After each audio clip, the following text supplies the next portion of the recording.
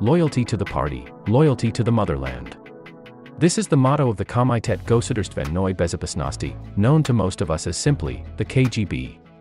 With a fearsome reputation for ruthless oppression, calculated efficiency, and striking at enemies of the Soviet Union in order to defend it, the KGB was the sword and the shield of Soviet communism.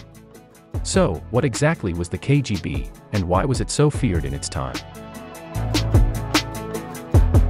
The KGB was born from many previous secret service organizations in 20th century Soviet history. The Bolshevik Revolution completely transformed the global powerhouse country once ruled by czars. After the revolution, the young Soviet leader Joseph Stalin rose to power. Stalin expanded the use of the secret police, and in 1934, he officially became the People's Commissariat for Internal Affairs, otherwise known as the NKVD. Stalin used the organization to both build and sustain his power and to ensure the maintenance of a strong industrialized communist regime. The NKVD was used to instill mass fear throughout the country, and its citizens referred to the organization as the Great Terror. He orchestrated mass famine and work camps, allowing his own people to suffer greatly. Stalin was also known for his purges, where he habitually used the NKVD freely as a way to eliminate anyone who showed any hint of disloyalty, or whom he considered a threat.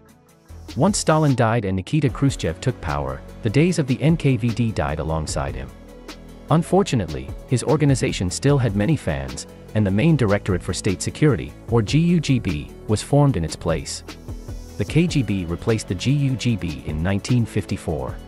Per the KGB Espionage Museum, the organization's mission was to act as the sword and shield of the Communist Party.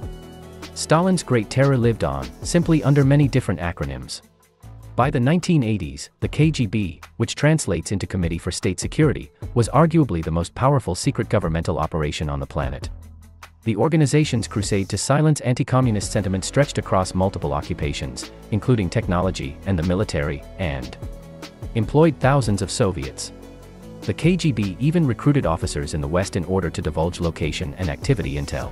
They also set up camp in the United States, as depicted in the popular FX TV drama, The Americans. In the 1970s, an antenna went undetected in the US Embassy's chimney. It was later divulged that a listening device had been successfully incorporated inside the embassy's typewriters. This went undetected for a whole eight years. Imagine how much intel the KGB gathered within that span of time. But the KGB's espionage monopoly wouldn't last long. The Central Intelligence Agency quickly became a formidable rival to the KGB, particularly during the Cold War. Their weapon of choice was a silent but deadly cyanide capsule, otherwise known as the L-pill, that would kill an enemy instantly. The poison was sometimes hidden inside pens. It's very possible that the CIA prevented a nuclear attack on Americans with the intel they gathered from Moscow. Author David E. Hoffman writes in his book, The Billion Dollar Spy, a true story of Cold War espionage and betrayal, that intelligence discovered in our 12 medium range missile. Hoffman wrote, it became the key ingredient in decision making as President Kennedy stood up to Khrushchev during the Cuban Missile Crisis. If a citizen had a business, position of power, or personal attributes that the state found desirable, the KGB would try a variety of methods to determine whether they could be recruited to carry out undercover tasks. They would then promise the individual special favors for service. For example, Vladimir Putin spent his career recruiting KGB members in the 1980s. According to a report by David Hoffman for The Washington Post, Putin would seek out East Germans who had a plausible reason to travel abroad. Basically, if you had a cover story, you were in.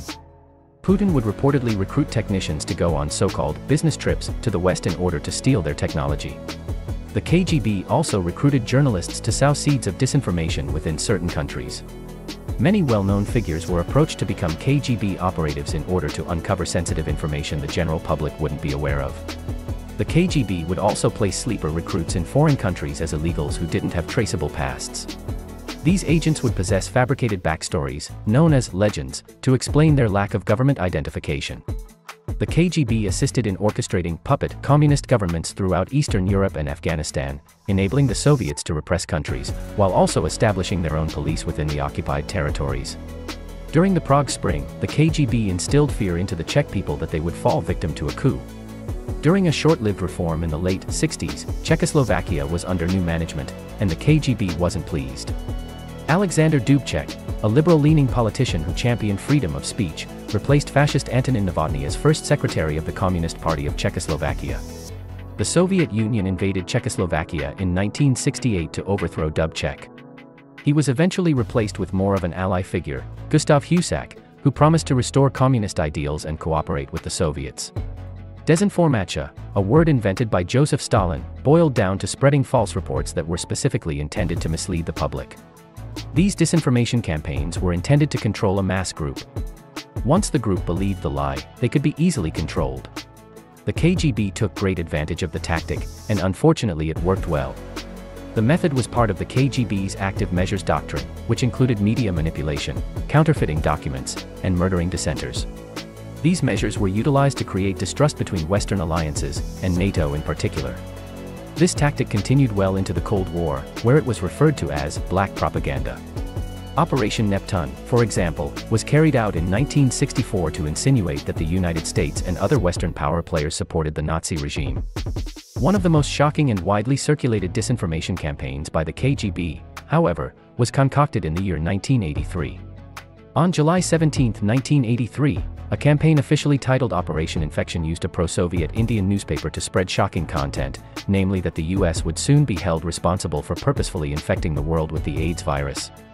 According to these fabricated sources, AIDS was the product of a lab experiment intended for biological warfare by the Pentagon. The publication cited an anonymous letter from a whistleblower of sorts who claimed they were a well-known American scientist and anthropologist.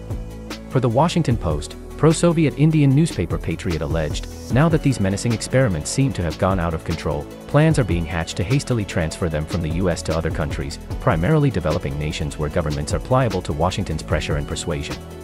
Not only was the report published in India, but it appeared in a Soviet weekly paper and a British tabloid too.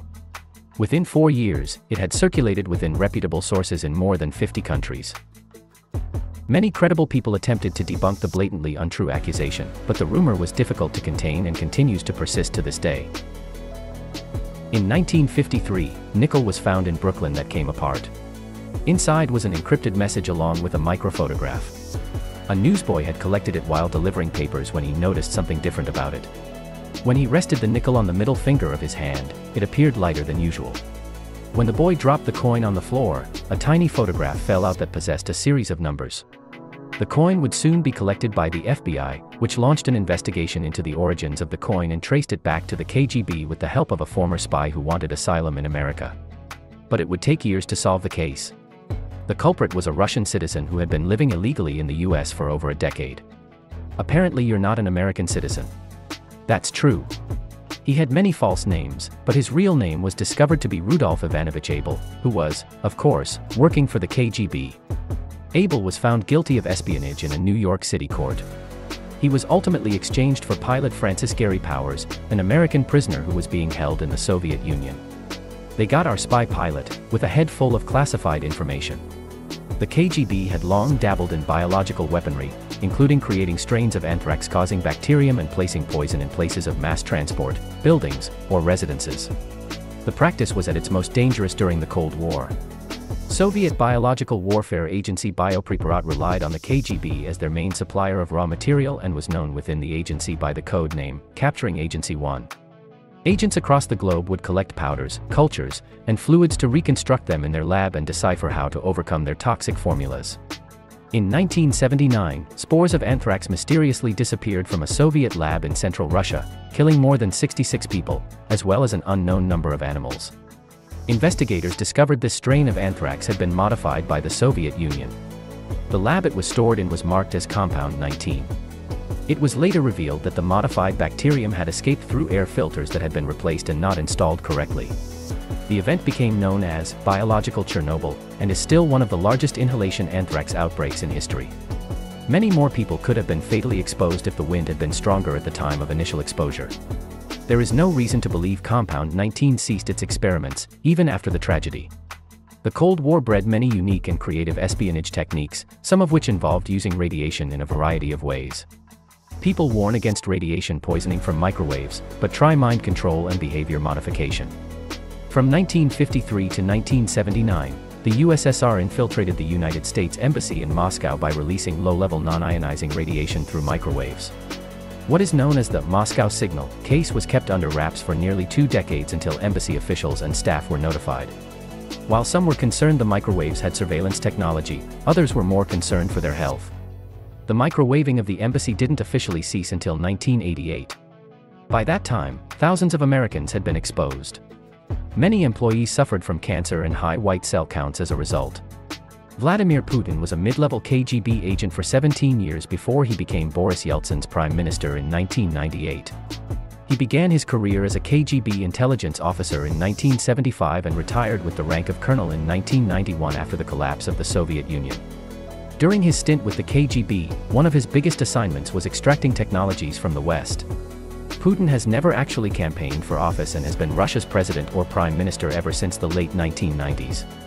Critics worry that his experience with the KGB has influenced the way he governs. The intelligence he had gathered within his nearly two decades as an agent and colonel had made him paranoid, and there have been hard evidence that he used KGB tactics to infiltrate Ukraine in 2005. And of course, he has been accused of using desinformatia to influence the results of the 2016 United States presidential election. A coup officially ended the KGB in November of 1991 when the USSR fell and was replaced by the Domestic Federal Security Service, the FSB. But it was never fully dissolved, and only evolved, much like organizations before the KGB. The Cold War may have ended, but under Putin, Russian spies are still allegedly up to all the old tricks of the KGB playbook.